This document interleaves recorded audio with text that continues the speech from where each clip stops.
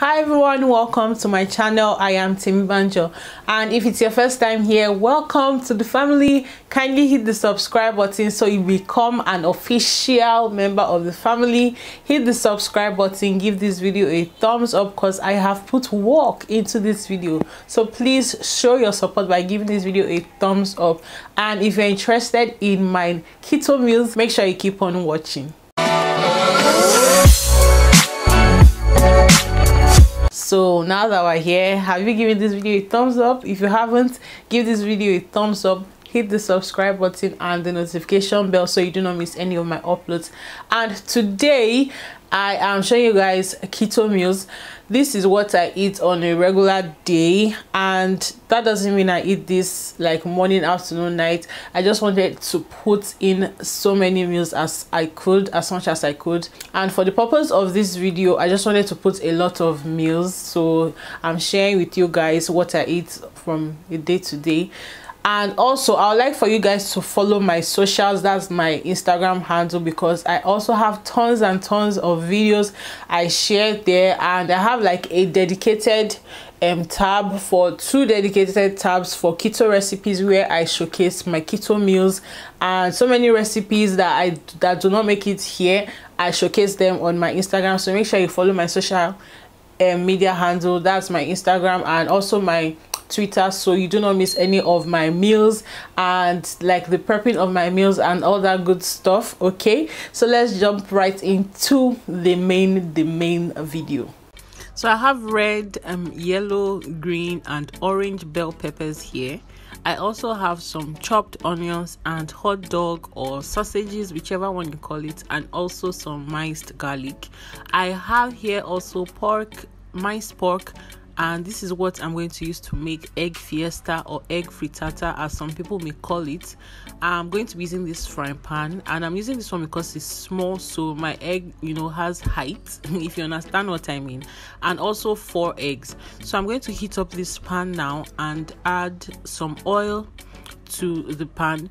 My mistake here was that I didn't use butter, and the correct butter or fats I was supposed to use for this keto meal is supposed to be butter, not oil. But my dad also had some of this, so you know, I just decided to use this oil. So I'm going to fry the pork here in the oil and just you know pieces it so it's all scattered in the pot.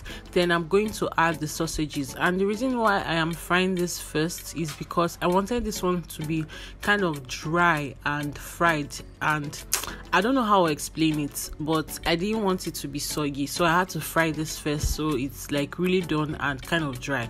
So i added my garlic to the pork and also some cameroon pepper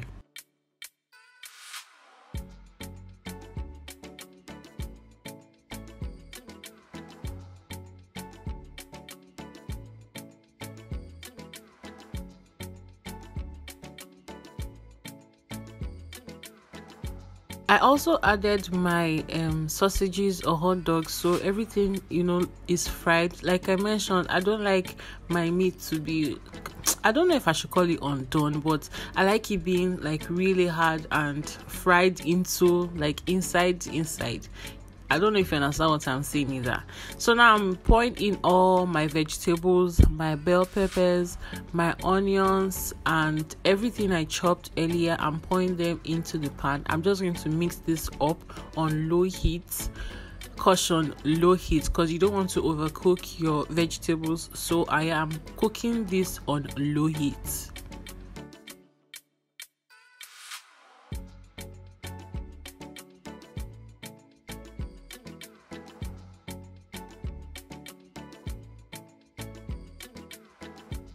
So after mixing that generously i'm going to break my eggs so that i can whisk it and add it to my frying vegetables and i'm going to break four eggs now.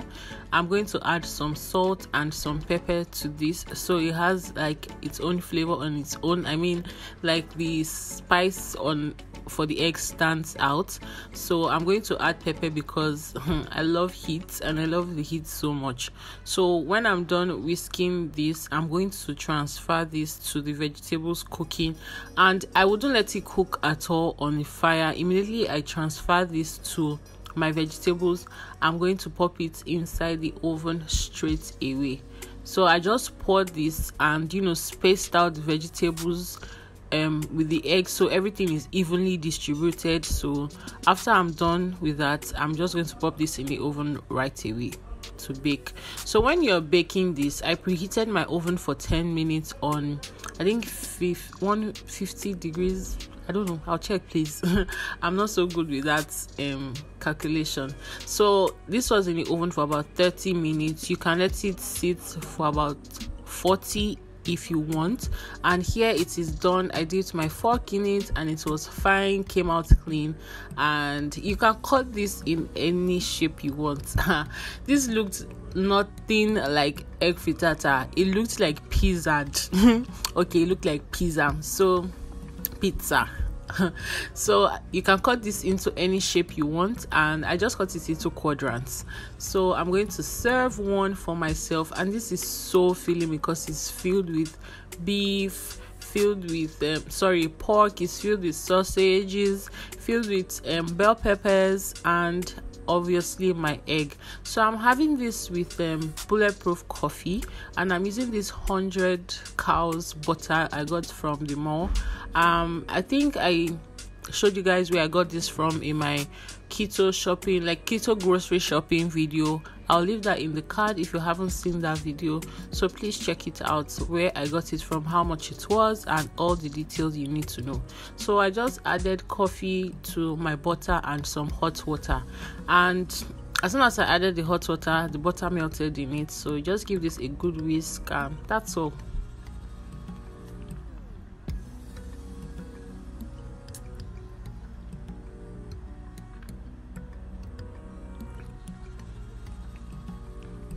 So here is my amazing and filling breakfast. I had this egg frittata with um, avocado pear because I do not like to joke with my fat. And one thing I learned on this particular journey of my keto diet is do not joke with your fat that is what will sustain you give you energy and make you feel all round. So please don't joke with your fats okay?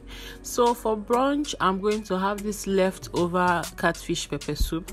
I'm just going to heat this up. Nothing serious nothing you know special about this. You guys know this is my staple. So i'm just going to heat this up and when it's hot i'm going to serve this and have this for brunch. Just in the meantime while i do some paperwork i can you know see something to munch on and sip on at the same time.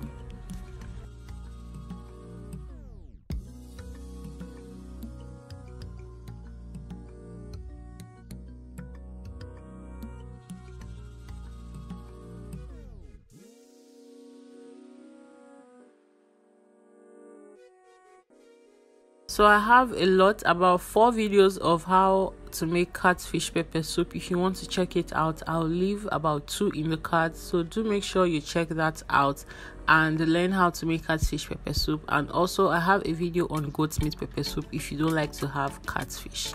So for lunch i'm having eggplant amala.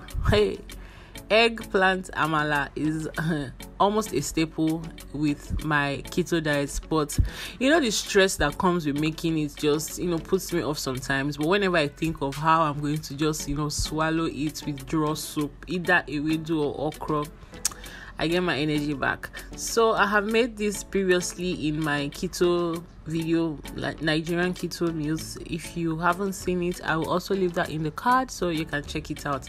I'm just going to dice this up um into fine or tiny bits and then pour some water and boil so it can get soft.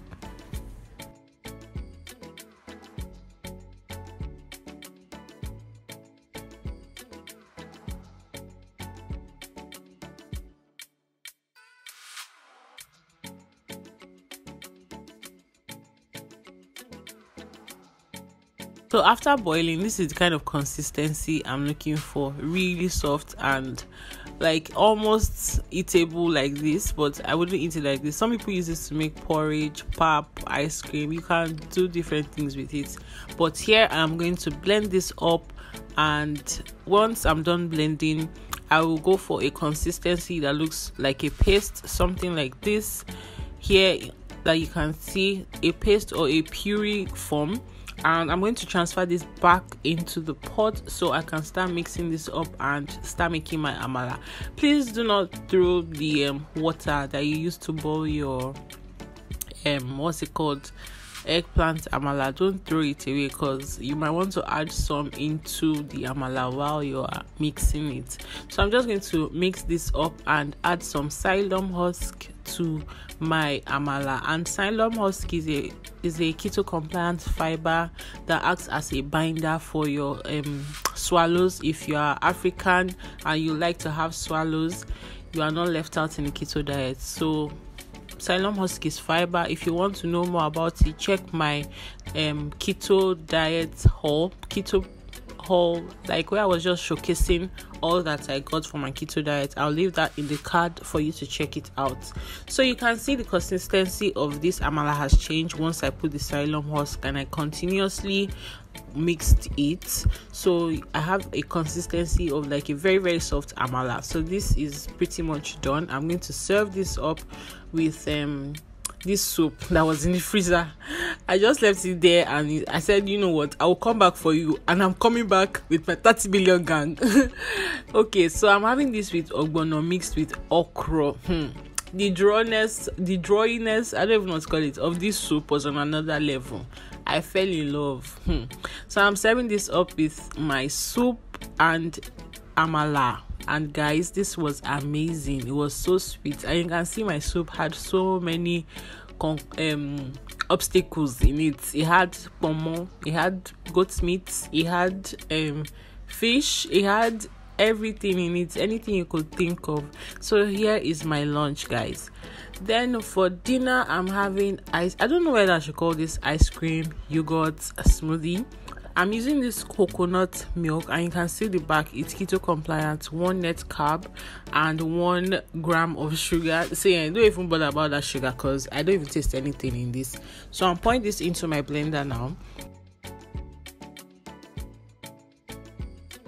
so i'm going to make this with um, strawberries i have washed strawberries that's about four of it and I'm going to add a little bit of stevia. Please do not go too hard or too much on your stevia, just a little. I use half of that pack you are seeing there because if you put too much of stevia in whatever you're making, you're going to have aftertaste which you wouldn't like. So I added some ice also and some flaxseed. I was supposed to add a pinch of cinnamon to this, but I forgot. So I'm not going too much or too hard with the flaxseed because I'm still going to add flaxseed at the end of this. So I blended it up and this was what I got. So please please can you help me name this? I call this keto strawberry yogurt on my story and people were wondering hmm what is this? So please if you can help me name this particular um drink. So i'm adding coconut flakes that i made also on my instagram story. That's why i said you should follow my handle so that you see how i prep some of these meals and almost everything that doesn't make it here on youtube they are on my Instagram stories. So please check out my Instagram and do make sure you follow me. So I added chai seeds, chia seeds rather, and some flax seeds. That's why I didn't go too crazy with the um, flax seed when I was blending. So here is my I don't know what you guys are going to name me. Please let me know in the comment section. So this is pretty much pretty much what I have on a regular day. So thank you guys for watching all right everyone there you have it. I hope you enjoyed this video and i hope you really learned something. I mean i tried my best to put in so many meals into this video and hopefully i'll be able to create more recipes so that i can you know dish it out to you guys. So thank you so much for sticking around with me and i do not want you to leave. Make sure you continue sticking around with me by checking out my other videos. And also if you haven't subscribed to my channel and you made it up to this point if you're new here please subscribe to my channel channel give this video a thumbs up and i will see you in my next one. All right so let's go